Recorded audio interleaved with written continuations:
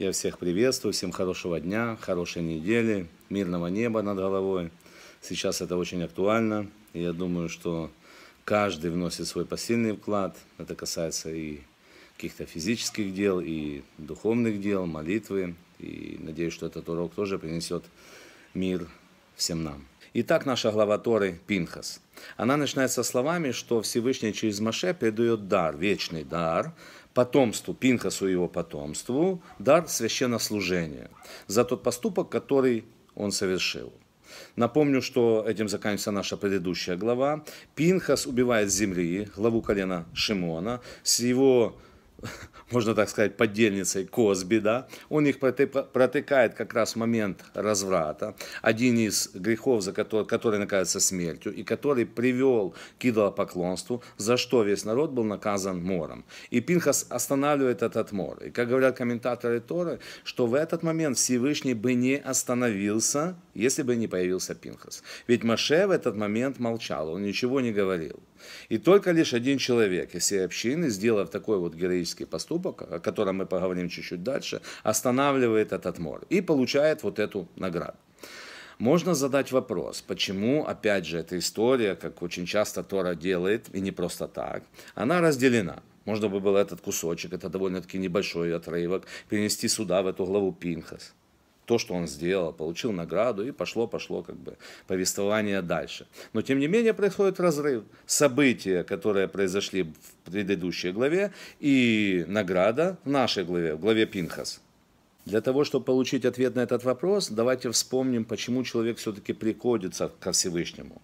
Но говорить мы будем не о той точке начала, когда вот проявляется, появляется вера у человека, такая ощутимая, Обычно мы знаем, что, к сожалению, люди приходят ко Всевышнему после чего-то проблематичного, да, когда человек не может найти уже никакой помощи, никаких ответов, и он обращается к тому, что вчера, казалось бы, было таким абстрактным и далеким, а сегодня становится самым важным. И человек изливает душу и получает какую-то помощь. Как сказано в наших писаниях, что как раз и Всевышний, он очень чутко относится к этому и отвечает вот сокрушенному сердцу и духу. Я начну с того момента, когда человек уже верит во Всевышнего, уже соблюдает заповеди. И, как говорят наши мудрецы, существует три основных уровня. Самый низкий уровень – это уровень выгодно, когда человек понимает, что да, действительно есть Бог. Это он знает. Но так ему хочется сделать что-то неправильное, и он этого не делает только лишь из-за того, что боится наказания. И наоборот, он делает что-то правильное только лишь для того, чтобы получить какую-то награду. Вот самая главная здесь цель, эта цель, это выгода. Более высокий уровень – это уровень разумно. Когда человек не просто понимает, что есть хозяин, творец этого мира, человек понимает, что это единственно правильный путь что если он будет поступать даже вот так, как иногда ему хочется, это просто будет неправильным. И человек это делает не из-за того, что ищет какой-то выгоды, он просто понимает, вот так должно быть и больше никак. Он ощущает себя, ощущает свои желания. Иногда его желания совпадают с желаниями Всевышними. Иногда, если, слава Богу, человек чувствует, не совпадает, но он в силах совладать с собой и делает это на уровне разумного. И самый высочайший уровень, это, естественно, уровень «есть Бог». Все. Больше нет никакого твоего понимания. Есть Творец этого мира, этот мир принадлежит Ему, я выполняю заповеди. Все. Я создан им только лишь для этого. И неважно, знаю я, не знаю, хочу, не хочу, как будто нет своего я. Это самый высокий уровень, он принадлежит как раз праведникам. В основном человек эти уровни пересекаются. На каком-то уровне, я надеюсь, мы с вами являемся праведниками, на каком-то уровне мы действуем, потому что так разумно, и мы действуем, потому что это выгодно. Очень тяжело убрать с себя вот свое «я», превратиться в полный битуль, что так сказал Всевышний. И мы это пытаемся найти и в духовной части нашей жизни, физической. В духовной мы хотим понимать, хотим разбираться, хотим уметь говорить об этом, рассказать другим, хотим, хотим понять, а в физическом плане мы действительно хотим нормальной человеческой жизни, хотим парносы, хотим, чтобы у нас было какое-то благополучие. Ничего в этом плохого нету. Для этого Всевышний и сделал эти все уровни. Поэтому, когда человек осознает, скажем, свое какое-то несовершенство, честно говоря, это прекрасно. Нельзя сказать, что все, ты на каком-то там где-то уровне, все, ты ничего не достиг. Наоборот, это открывает перед тобой как раз тот путь, который ждет от тебя Всевышний. Это как будто начинается какой-то прекрасный боевик с очень хорошим концом, как нам обещает сам Бог. С Божьей помощью так все и произойдет. Но Тора, давая нам вот эти все уровни, дает и самый высочайший уровень. И вот этот уровень как раз показан в нашей главе, главе Пинхас.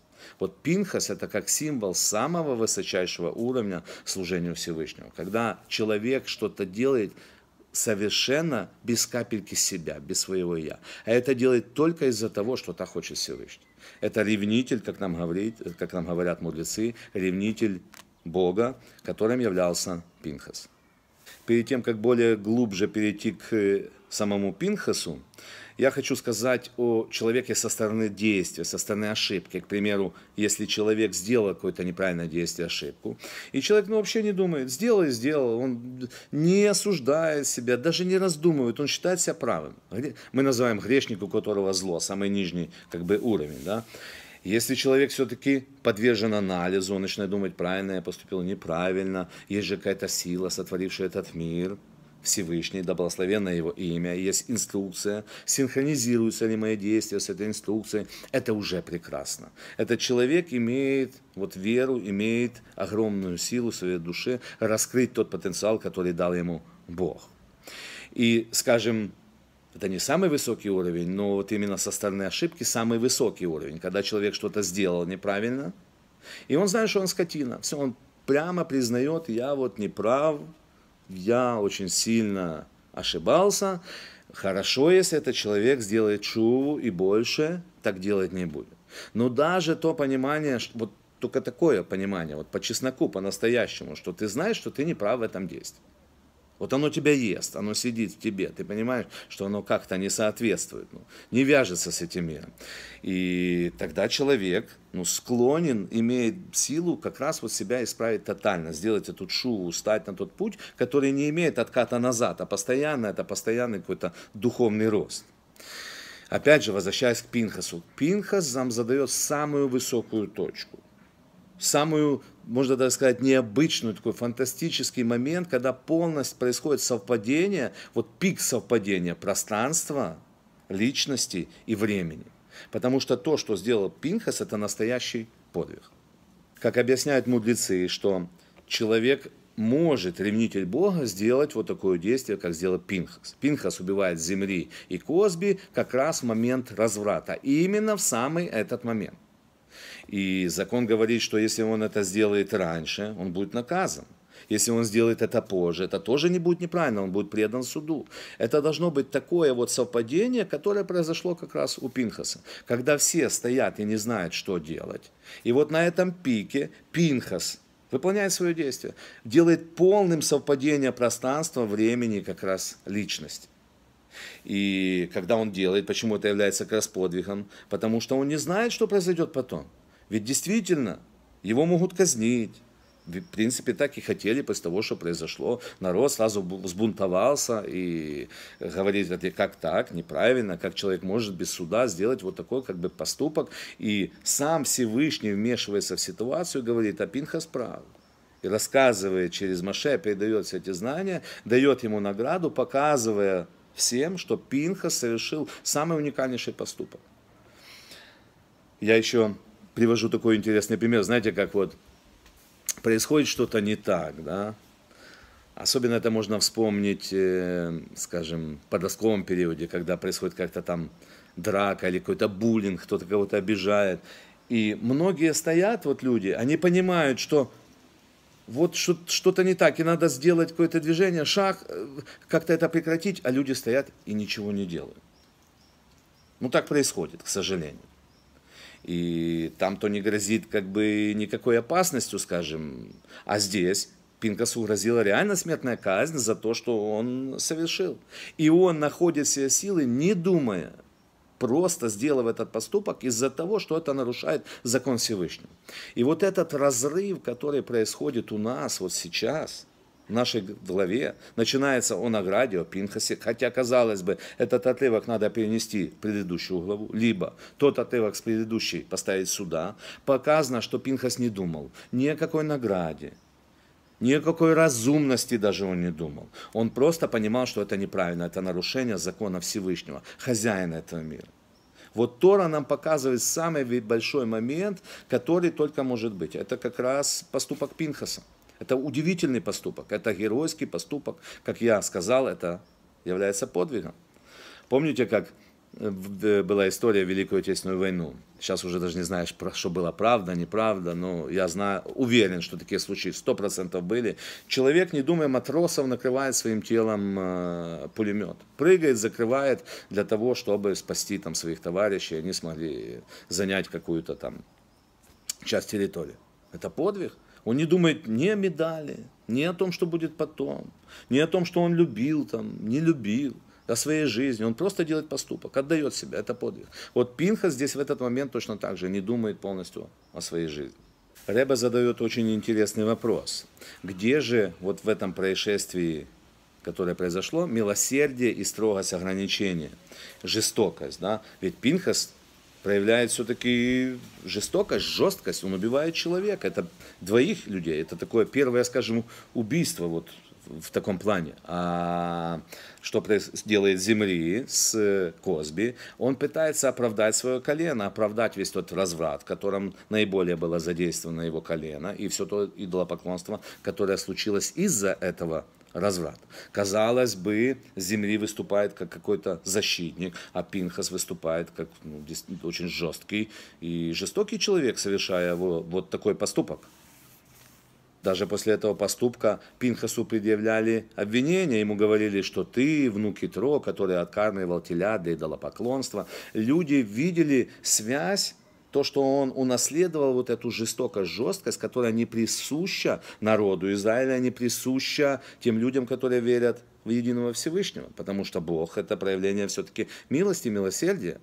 Но не зря он награжден Пинхас даром священнослужения. В нем же течет кровь Аарона – и Всевышний, давая эту награду через Маше, показывая народу, что нет, вы неправильно думаете. Вот как раз в этот момент Пинхас произвел самый великий уровень милосердия, милости, который только мог быть.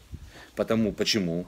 Потому что он исправил ситуацию. Он раскрыл волю Всевышнего. Все, что исходит, мы знаем от Бога, это добро. Это каждый из нас так говорит. Но теперь правильно понять, что иногда даже те ситуации, которые кажутся нам не очень хорошими, а это тоже милосердие Всевышнего. Оно признано для того, чтобы сделать мир еще лучше. Я говорю даже вот этой ситуации, которая сейчас, вот, к сожалению, война, к сожалению, гибнут люди. Но любое плохое действие приходит в этот мир только лишь для того, чтобы потом стало еще лучше, чтобы потом раскрылось еще большее добро. А Земли, в свою очередь, действует наоборот. Казалось бы, он защищает свое колено, как будто он пытается разрешить то, что как бы недозволено оправдать даже кого-то. Но он нарушает закон Всевышнего. Он наоборот вгоняет в мир еще в большую темноту. Всеми своими действиями и нарушениями с Косби, и тем, что он спорит с Маше, и делает это как бы прилюдно. Но вся эта ситуация, она произвелась только для вот такого высочайшего раскрытия. Это пример для всех нас. Чтобы в душе у каждого из нас где-то рос маленький свой пинхас, который мог бы когда-то сказать жесткое «нет» в какую-то ситуацию, а не просто молчать и ждать, когда сделает это кто-то другой. Один Штельзаль в своем комментарии на эту недельную главу, он берет более глобальное раскрытие этой темы он от, не, не просто он относит Пинхаса, Пинхас является левитом, да, но и Аарон является левитом. И священнослужители в храме, чем они занимались? Они занимались жертвоприношениями, они занимались, ну, честно говоря, были связаны с кровью, да? Они делали шхиту, выполняли все эти действия. Левиты наоборот, они пели песни, помогали коинам, да, помогали этому служению. Но если мы посмотрим историю этого колена Леви, в котором находятся и коины, то первое проявление, которое всплывает на ум, это Шхем, когда Леви и Шимон, они убивают 24 тысячи. И убивают так, что Якову это не нравится. Яков говорит, это было неправильно. Левиты потом исправляют свою ситуацию в знаменитой фразе Маше, кто за Бога ко мне, это когда был грех Золотого Тельца. И они берут и убивают три тысячи человек.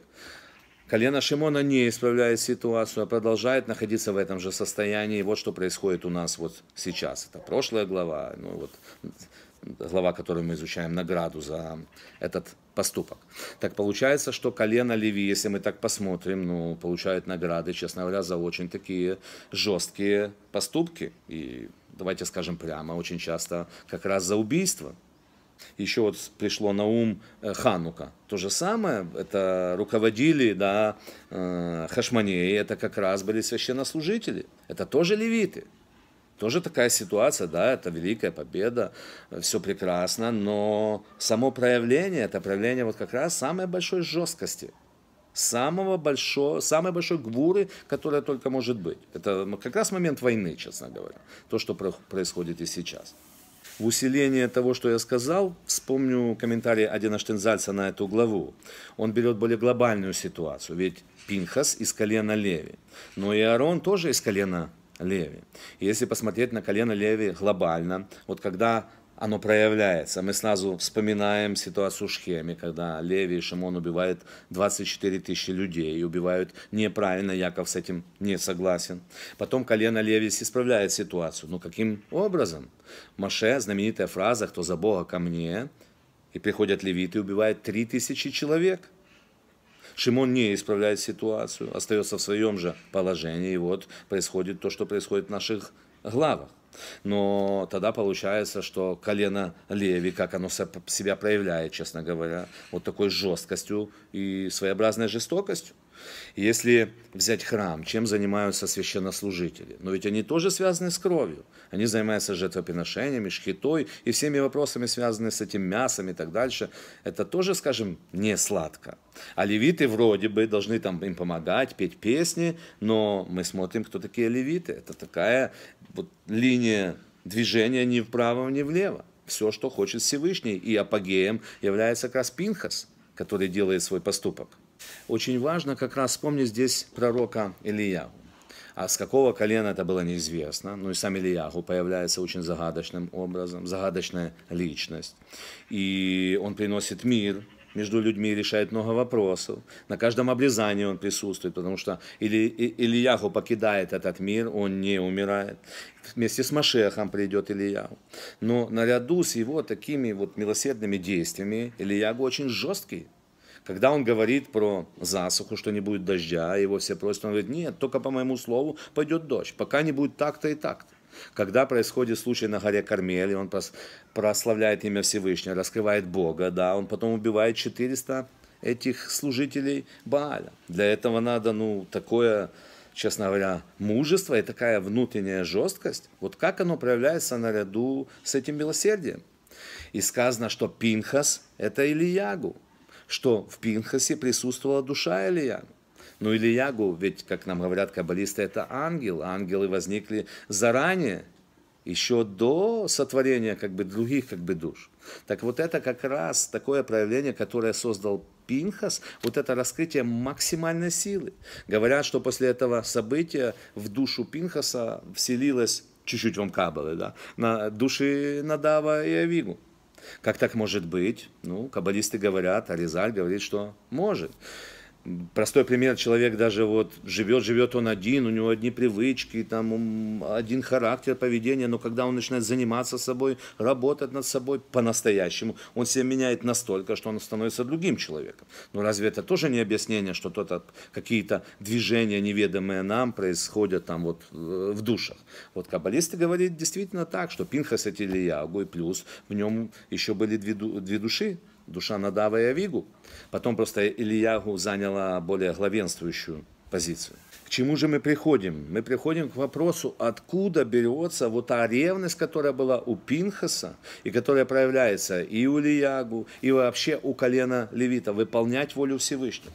Выполнять иногда на уровне, на грани как раз подвига. Откуда она берется?